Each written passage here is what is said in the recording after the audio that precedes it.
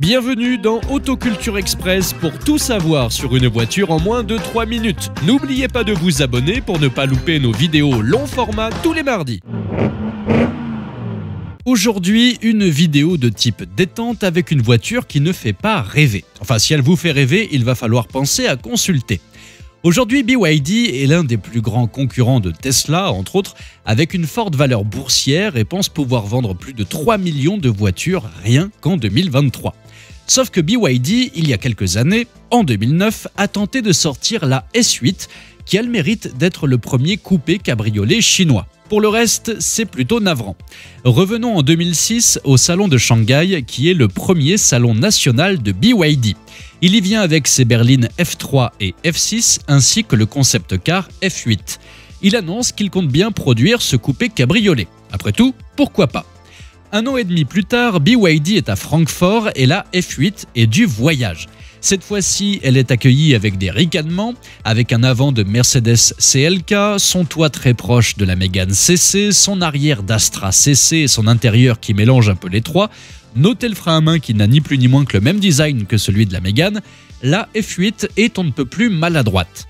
Côté motorisation, elle se contente d'un 2 litres à distribution variable développant 140 chevaux avec une boîte automatique à 4 rapports. Encore au stade de développement à ce moment-là, début 2009, BYD décide de lancer la production et de changer le nom de la voiture. La F8 devient S8. Elle débute en fanfare le 17 juillet et commercialement, BYD n'en attend pas grand-chose et ils seront servis. En revanche, elle doit lui permettre de marquer son territoire dans l'Access Premium. Le problème, c'est que la S8 n'a pas vraiment de qualité. En plus d'être un malheureux copiage, la S8 possède une finition exécrable, en témoignent les jours entre les panneaux de carrosserie. Avec un peu plus d'une tonne 5, elle est un poil plus lourde qu'une Mégane CC, mais à cause d'une boîte automatique paresseuse, il lui faut 14 secondes pour atteindre 100 km/h. La S8 revendique 180 km/h en pointe, mais personne ne serait assez fou pour tester sa vitesse maxi. L'une des erreurs du constructeur est d'avoir voulu tout concevoir tout seul, de l'ingénierie industrielle aux composants. Copier, c'est insuffisant pour acquérir des savoir-faire. La S8 est proposée à 165 800 yuan, soit 17 000 euros. Or, à l'époque, les productions chinoises ont une image bas de gamme. Au-delà de 100 000 yuan, les Chinois préfèrent les productions étrangères. Sans surprise, les ventes sont déplorables.